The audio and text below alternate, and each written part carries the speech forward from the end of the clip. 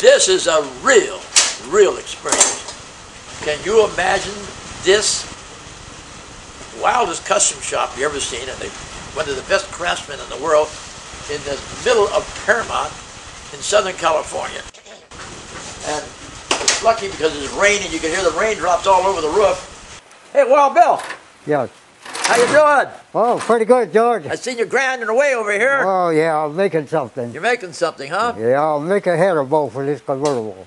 Well, anyhow, I noticed here on this one here is really a part of that Hirohata Mercury, Yes, right?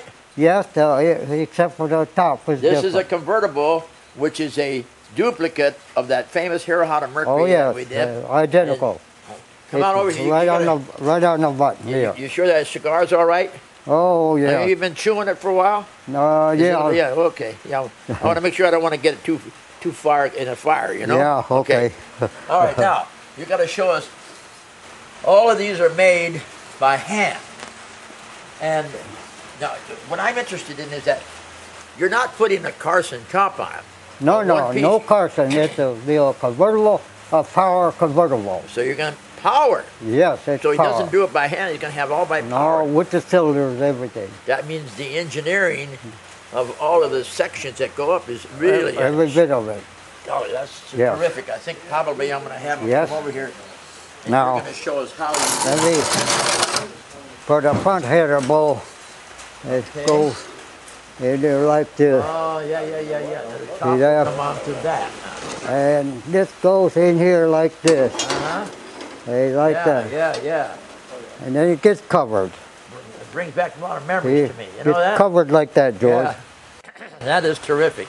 And the base base piece is a quarter inch piece of plate, Uh, a 316. 3 sixteenths. Okay. 316 plate. Uh, I make two separate uh, ones Uh-huh, uh-huh. and then join them in the middle. Okay. Now show us how the convertible top will operate. Let's Well, see. the power will power will be the the power will be the cylinder there, and it'll come right in. All the bows, all the bows are all in line to be able to come up correctly in each sequence. And it's powered by a cylinder in the back side. This is all the geometry here. All of this geometry had to be worked out. It had to take you a month, yes. A month just to figure out the geometry, right?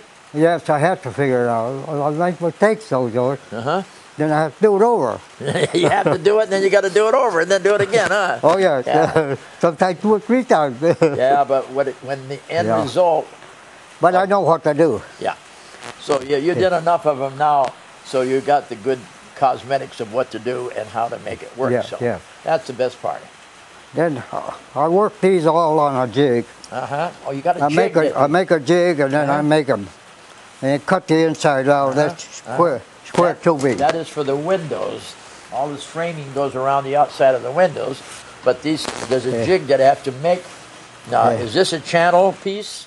Oh, yeah. And then you bend it on the jig, right? Well, it's a square tubing, Clear tubing. uh, half by half, 18 gauge. Uh huh.